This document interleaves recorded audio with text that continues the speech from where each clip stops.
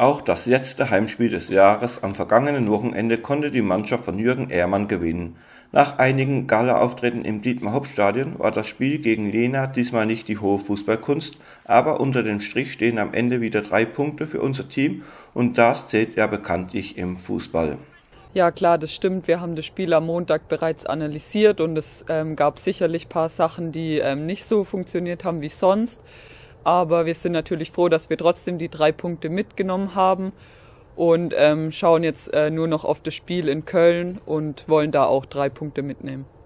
Der erste FC Köln ist nun am Sonntag der letzte Gegner des Jahres. Und auch in dieser letzten Trainingswoche in 2019 hat unsere Mannschaft noch einmal alles reingesteckt und will keinesfalls schon einen Gang zurückschalten. Wir haben Köln natürlich analysiert und ähm, Köln hat ein starkes Umschaltspiel und ihre Qualitäten im Offensivspiel und da haben wir uns ein bisschen drauf fokussiert und ähm, haben Gegenpressing geübt nochmal und ähm, im Endeffekt haben wir einfach ähm, die Woche geschaut, dass wir nochmal 100 Prozent reingeben, dass jeder nochmal Gas gibt und dass wir am Wochenende ähm, ein gutes Spiel nochmal raushauen und die drei Punkte mitnehmen.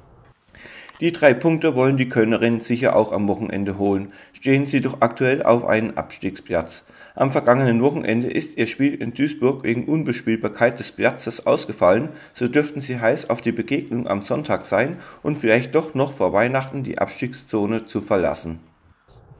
Ja, ich denke, gegen Köln ist es immer ein schwieriges Spiel. Die sind eine starke Mannschaft, die sehr aggressiv spielt und wie bereits gesagt, haben die ein gutes Umschaltspiel, haben vorne ihre Qualitäten und stehen aber hinten auch kompakt. Und da wollen wir einfach dagegen halten, wollen gut dagegen pressen und wollen auch unsere Torchancen nach vorne erarbeiten und das ein oder andere Tor schießen und ähm, dann die drei Punkte mit nach Hause nehmen. Gerade letzt vor Weihnachten, wenn dann einige Wochen kein Spiel ansteht, wäre es schön, sich mit einem Erfolgserlebnis, mit einem Sieg in die Feiertage zu verabschieden. Ja, ich glaube schon, dass ähm, jeder gern äh, mit den drei Punkten gegen Köln nochmal das Weihnachtsfest genießen will. Und ähm, ja, es ist einfach schöner, wenn man die drei Punkte mitnimmt.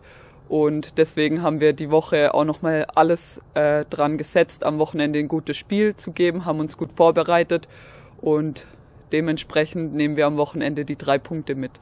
Sollte es am Sonntag mit einem weiteren Dreier klappen, wäre das Punktekonto auf pralle 34 Zähler angewachsen und man wäre den anvisierten 40 Punkten schon ganz nahe.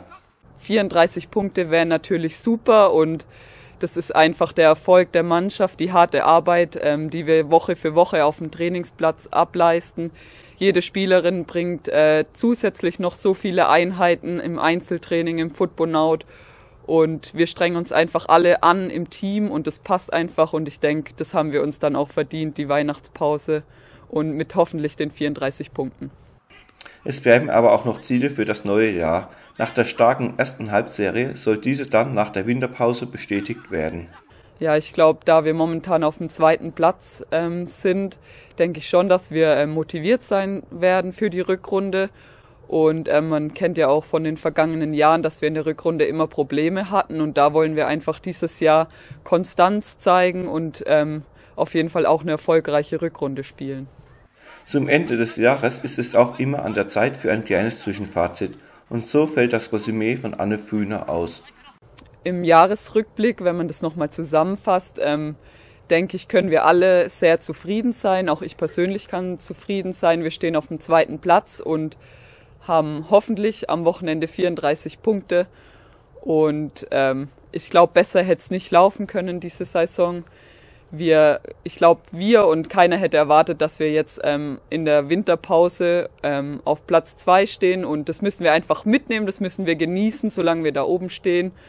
Und der Blick auf die Tabelle macht einfach Spaß und ich hoffe, dass es so lange wie möglich so bleibt.